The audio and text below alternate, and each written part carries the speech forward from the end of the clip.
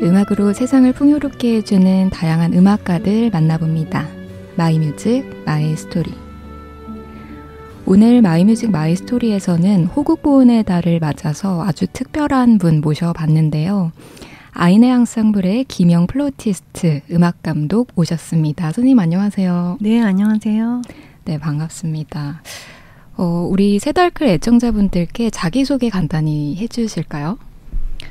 어, 저는 그 금방 소개해 주신 아이네 앙상블의 음악 감독이지만 어, 또 어, 플루티스트이기도 하고 음악 학자이기도 합니다. 선생님께서 앞서서 저에게 명함을 주셨는데 네. 보니까 미주리 주립대학교 개권연구원으로 네네. 되어 있습니다. 네. 선생님 혹시 오늘 미국에서 오신 건가요?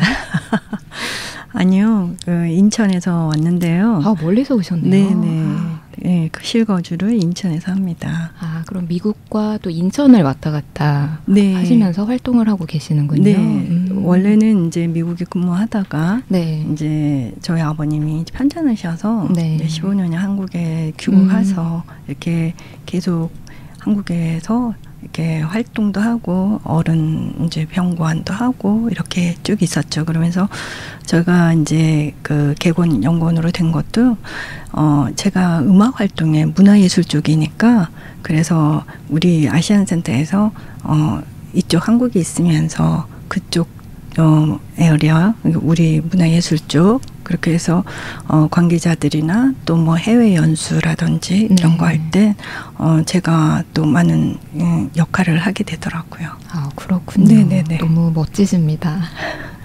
감사합니다. 솔리스트로서도 연주를 활발히 하시겠지만 무엇보다도 아이네 앙상블 음악 감독이다 말씀을 드렸습니다. 네네. 우리 앙상블 소개 먼저 해주시면 좋을 것 같습니다. 네, 그 저희는 음, 단체 이름이 사실은 처음에 창단할 때는 97년도에 하나로 라고 했었어요. 근데 아, 그 네네. 당시에는 이 담배 이름이 아, 그렇게 그래요? 나오는 바람에 음. 이렇게 막 사람들 놀리고 해서 그래서 그냥 아인 앙상블이라고 했는데 음. 이게 사람들이 독일어에 대한 익숙함이 없다 보니까 이걸 영어식으로 다들 이렇게 아이네라고 읽더라고요. 그래서 네네. 네. 부르기 편한 쪽으로 하다 보니까 그게 아이네 앙상블이 되었는데 원래는 아이네 플루트 앙상블이었는데 저희가 97년도 창단하고 나서 어 2015년부터 예, 국악하고 그다음에 음, 이제 클래식 네 기타와 첼로 이렇게 뭐 드럼 저기 또 여러 가지 악기가 함께 영입이 되면서 저희가 개명을 했었어요. 아이네 앙상블로. 아, 그렇군요. 네네네. 아, 원래는 97년 경남 최초로 플룻 네. 전공자들로 창단되었던 네. 단체이다 네네. 말씀을 해주셨는데 네네. 아, 역사가 굉장히 오래된 그쵸, 단체이네요. 민, 네, 그렇죠. 민간 단체로서는 사실 26년 차 굉장히 와. 오랜데 제가 또 한국을 비워 있던 기간이 꽤 오래되지만 제가 뭐 방학 때 오던지 제가 없어도 저희 악장과 이 연주 단체는 계속 연주를 했었어요. 저희가 아, 예, 그 비영리 사업자 음. 단체로서 저희가 처음에 창단했을 때 목적이 어 장애인이나 그 부르 이웃이나 이렇게 음 소외된 사람들에게 문화를 이제 전달할 수 있는 어떤 문화 메신저 같은 역할을 하자 해서 그렇게 해서 창단되었었기 때문에 그래서 저희는 지속적으로 사실 뭐 영리를 위한 것보다 재능 기부 쪽이 많았었죠. 네. 네. 너무 좋습니다. 음, 오늘 우리 김영 음악 감독님을 모신 이유는 아주 특별한 연주를 준비하고 계시다 네. 들었습니다. 네. 오는 6월 23일 그리고 24일 음. 어떤 공연인지 설명 부탁드릴게요. 네, 저희가 이제 이 공연을 준비하게 된 것도 잠깐 이제 제 개인적인 얘기를 하자면 네. 어 우리나라의 이제 최초의 전투함이 백두산 함인데 음. 어, 사람들이 대체가 잘 모르세요. 네. 그래서 서해 수요일 날 뭐 이렇게 천안함이나 연평대전 이런 거는 이제 요즘 워낙에 미디어를 통해서 많이 알고 있지만 실제적으로 우리나라의 지금의 어, 대한민국이 있게 했던 배가 이 백두산함인데 음. 저희 아버지께서 사실 승조원이셨어요. 근데 어 작년에 돌아가셔서 아, 네. 그래서 일주기를 올해 맞이하면서 어 아버지가 돌아가시고 나서 해군에 행사했을 때 유족으로 해서 여러 번 이제 초청되어 갔었는데 어, 이게 안내를 하는 이제 아버지 후배죠 군인들이나 이렇게 소개를 할 때 어, 어떻게 보셨습니까? 그러면은 어, 유족, 백두산암 유족입니다 하면은 백두산암을 모르는 군인도 많았었어요. 어, 네. 그래서 이게 어, 해군도 잘 모르는 이 역사적인 이러한 것을 사실 사람들이 좀 알려야 되겠다는 생각이 굉장히 음. 많이 들었고, 그리고 이제 아버지가 계실 때, 어, 해군 행사를, 이 백두산암 행사를 해마다 6월 26일에 부산 네. 그 작전사에서 예, 행사를 하는데 그때 말고는 사람들이 잘 모르더라고요. 음. 네, 그래서 이 백두산암을 선양하고자 해서 어 창작곡을 백두산암 창작곡을 작곡자에게 의뢰를 해서 요번엔 연주연에 어 국내 초연으로 네. 창작곡 백두산함이 연주됩니다. 아. 네, 그래서 어 영상과 함께 창작곡을 연주를 하기 때문에 사람들이 우리 음악하는 사람들은 이게 창작곡이나 현대곡은 좀 음악적으로 우리가 이해를 하지만 일반 사람들일 때는 잘 모르거든요. 그래서 그때에 대한 해협 해전의 상황을 이 배를 어떻게 해서 구입을 하게 됐는지 그러한 것들이 전부 다 일러스트를 통해서 어, 네. 영상 제작을 해서 그래서 영상 제작과 함께 연주가 되기 때문에 연주를 들으셔도 좀 훨씬 쉽죠. 그렇게 해서 사실 백두산함을 선양하고 싶어서 이렇게 널리 알리는 음 저도 사실 이 백두산함 을 선생님 모시면서 처음 듣게 되었습니다. 그래서 어, 인터넷으로 조금 네. 검색을 해봤는데 네. 어, 전문 용어로 PC 네. 701 네. 네 어떤 뜻인가요?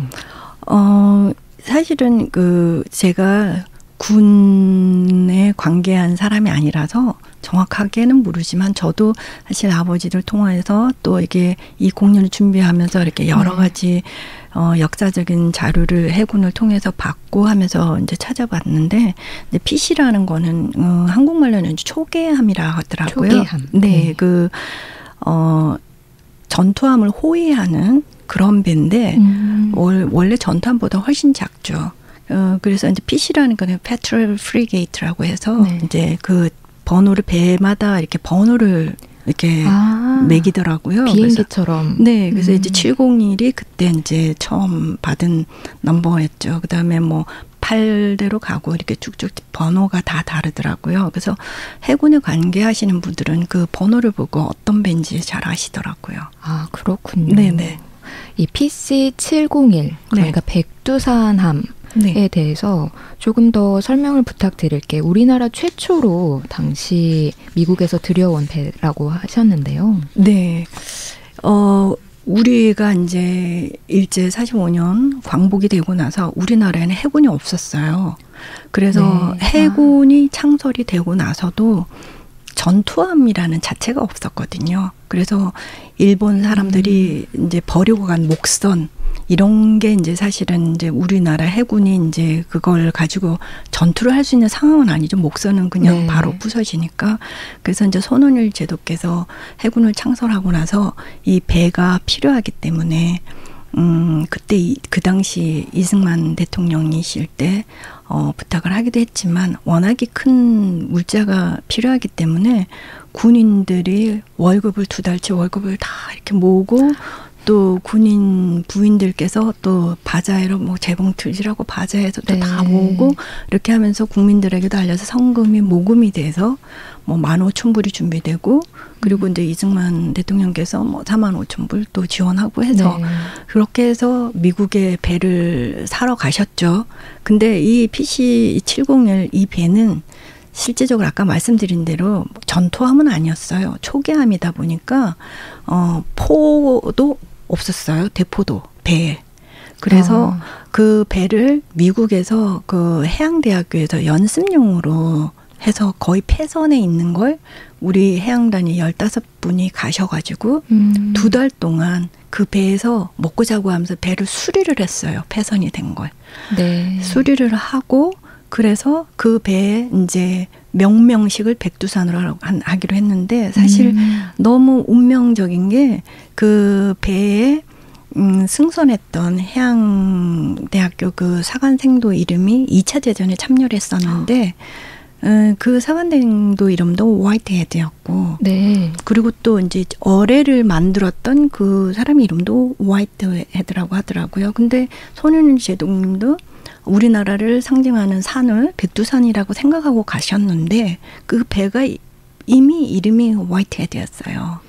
네, 그래가지고 이거는 운명이라고 생각을 하시고 이제 그 배를 받아서 그래서 이제 포가 없으니까 네. 이제 수리를 한 다음에 호놀룰루에 가서 또 포구 3mm 포구를 달았어요 한 개를 달고 또 포탄이 없는 거예요. 네. 그래서 또 괌에 가서 백발을 사서 그래가지고 그 배를 이제 한국에 왔죠. 우리나라의 최초의 전투함이 한국에 들어왔을 때그 음. 사람들은 정말 아 우리도 전투함이 있구나 하고 굉장히 이렇게 어, 어 흥분된 환호도 했지만 음.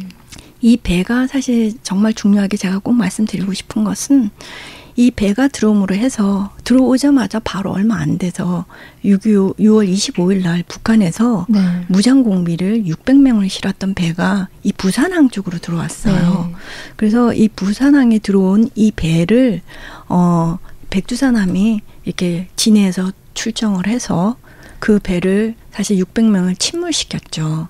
그때 어. 만약에 그 그거를 이제 대한해협 해전이라고 하는데 네. 그때 그렇게 막지를 못했다면 사실 위에 이제 메가더 장군 인천으로 들어오시긴 했지만 밑에 모든 물자들이 7,500톤이 부산항으로 들어오기로 되어 있었거든요. 유엔군을 지원군이 아, 근데 그 지원품하고 근데 6천 아 7,500톤은 어마어마한 그렇죠. 거잖아요. 그래서 그거를 들어올 수 있게끔 길을 열은 거죠. 만약에 우리가 부산항을 어, 어 무장공비 손에 들어갔다면은 저희는 지금의 대한민국이 없을 거라고 생각합니다. 어, 그 정도의 역사적으로 네. 중요한 배죠. 음, 그래서 이번 공연이 특별히 네. 고맙습니다. 백두산항이라고 지으신 네. 거군요. 네, 그래서 그 사실 이제 승조원에 대해서 이렇게 사람들이 막 이렇게 여러 말이 많았고 또 저도 이 승조원 리스트를 이렇게 찾았었는데 네. 그 승조원 리스트에는 75분이 되세요. 그래서 네. 또 부, 어, 해군 본부의 역사 기록관에 또 확인을 하고 했더니 이제 또 배가 와서 전역하고 내리시고 또 새로 오시고 하시는 이동도 있기 때문에 그 배에 관계된 분은 75분이지만 아. 실제적으로 그 대한해 해전에 참가하신 분들은 65분이세요. 그 이제 함장님 네. 포함해서. 아. 네, 그래서 이 배에 대해서 사람들은 좀 많은 이렇게 어, 의문을 가진다고 하나? 이렇게 승선 작업에 헷갈리냐 네네. 하지만 그 최영섭 고 최영섭 대령님께서 사실은 이제 갑판사시고 그분이 이제 3년 동안 더 이 백두산함을 전쟁 이후에 타셨어요. 그래서 그분이 음. 사실은 처음으로 이렇게 백두산함을 알리려고 노력을 하셨죠. 참 많은 그 자료들을 이렇게 고증받고 네. 또그 해군을 통해서 또 자료도 받고 저도 이렇게 찾아보고 하면서 여러 가지 이제 어 추측과 또 실제적인 얘기와 또 다른 게 또 참 많았었어요. 음. 어, 정말 대한민국에서 알아야 되는 이야기 그리고 네. 더군다나 적어도 부산 사람이라면 부산에 네. 살고 있는 사람이라면 이 바다를 볼 때 정말 남다른 감사함을 느껴야 된다 이렇게 느껴집니다. 네. 아, 정말 뭉클한데요. 그러면 이 백두산함이 당시에서 미국에서도 이미 네. 어, 폐선이라고 말씀드렸는데 네네. 지금은 어디에 있나요? 아, 안타깝게도 음. 이 배를 어, 우리나라에서 음, 그걸 좀 잘 폐선을 가져와서 좀 많이 녹슬고 힘들긴 했지만 전쟁에 어떤 의미가 있으면 네. 좀 이렇게 지켰었으면 좋았을 텐데 음. 아쉽게도 이 배가 해체되고 분리되고 그 돛대 마스트만 남아서 음. 진해 그 해군 사관학교에 있어요. 오, 선생님께서는 보셨을까요? 네, 보고 왔었죠. 그래서 그 돛대만 남아 있기 때문에 지금 음. 이제 해군에서 복원 작업을 한다고 하, 어, 들었습니다. 아, 그래서 배를요? 네, 왜냐하면은 역사적인 가치가 그렇죠. 있기 때문에 해군에서 이제 그 프로젝트 새로 해서 복원 작업을 한다고 제가 얘기를 들었습니다. 어, 정말 하루빨리 복원이 되어서 우리가 네. 모두 그렇죠. 정말 그 역사를 기렸으면 좋겠습니다. 네네. 와, 대한민국 최초의 전투함. 사실 전투함도 아니었는데 그쵸? 전투에 네. 사용되었던 정말 의미가 깊습니다. 이번 기회를 통해서 우리 새달클 가족 여러분들도 백두산함, 그러니까 PC701 기억해 주셨으면 좋겠습니다. 음악을 먼저 들어볼게요. 선생님이 우리가 이야기를 너무 많이 했는데 음악가이십니다.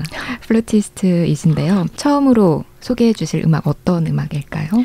어, 오늘 이제 특별하게 호국 보훈의 달이라고 해서 어, 제가 저희가 요번에 연주하는 곡 중에 하나인데 네. 어, 창작곡 말고도 이제 그 태극기 휘날리며에 나오는 OST 네. 에필로그 어, 그 곡을 추천하고 싶어요. 그래서 그것도 뭐 여러 개 중에서 그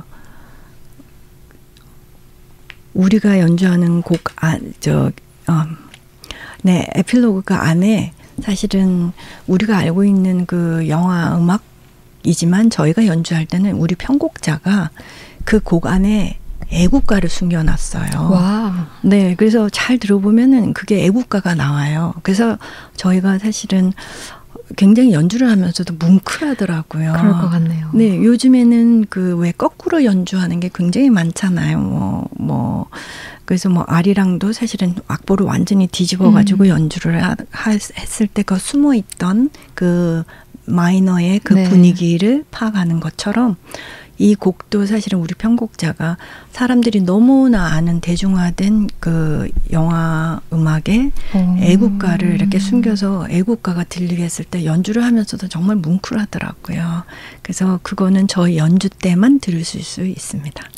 아, 연주를 꼭 가야겠네요, 선생님. 아, 그러시면 감사하고 저희가 연주 끝나면 영상 녹화해서 어, 유튜브나 온라인에 올리려고 해요. 아, 저희도 기회가. 그 연주도 한 번 더 들을 수 있으면 네, 좋겠네요. 네.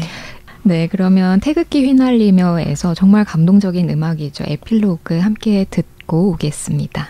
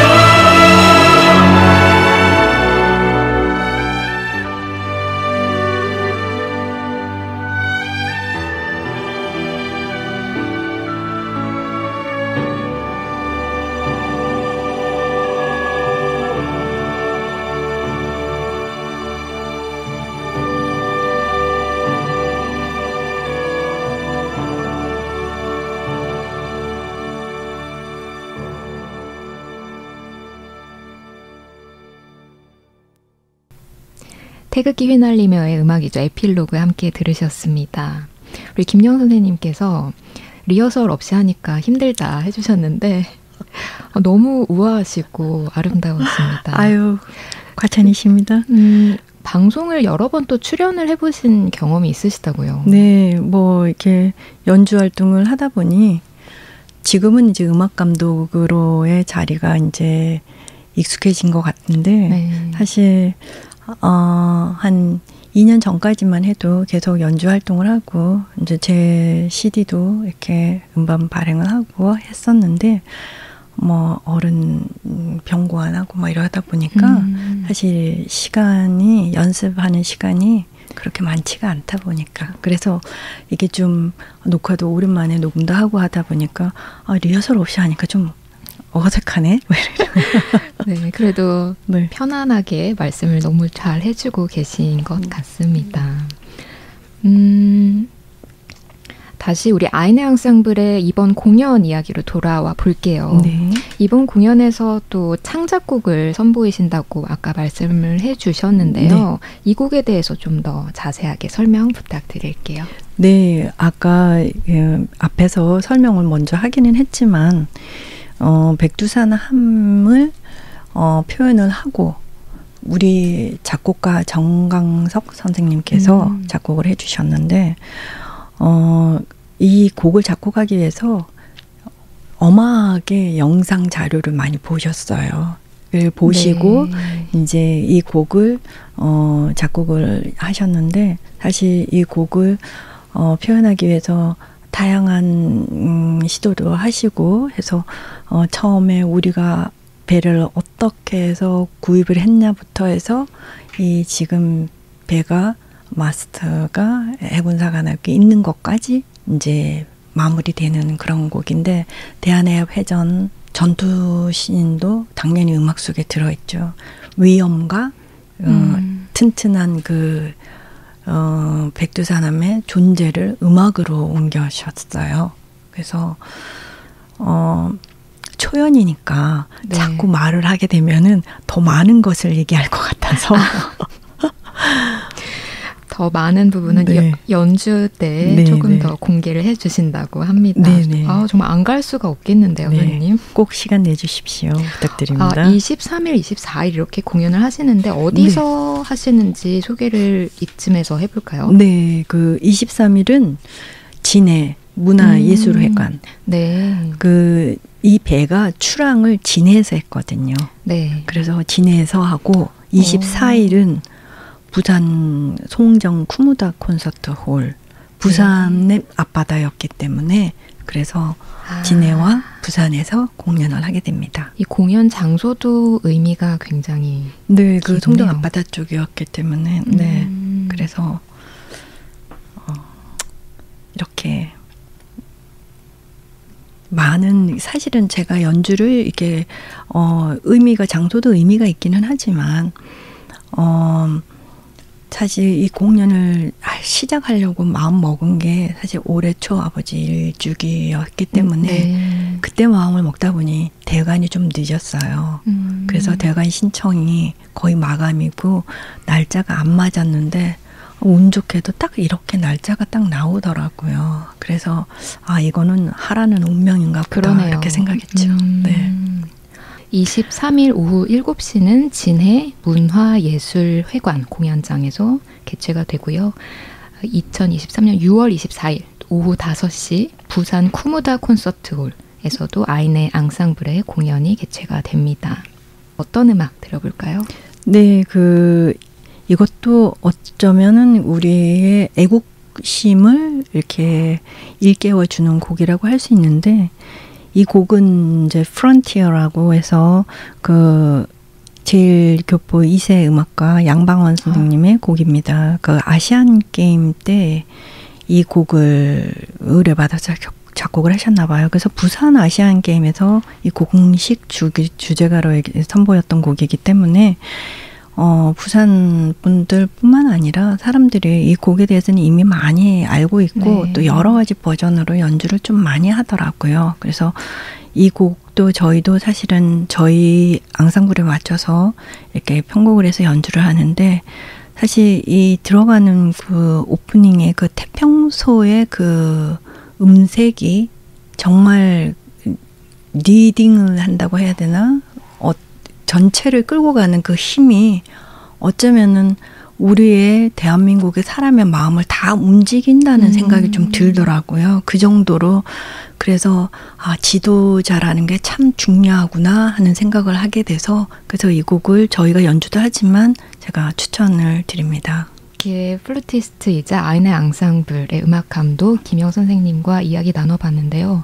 오늘은 정말 이렇게 뜻깊은 역사를 음악으로 알리는 너무나 뭉클하고 또 멋진 시간이었다 이렇게 생각이 됩니다. 그러면 양방원의 프론티어 함께 들으시면서 김영 선생님은 다음 주에 또 만나보도록 하겠습니다. 선생님 감사합니다. 아, 저도 너무 감사합니다.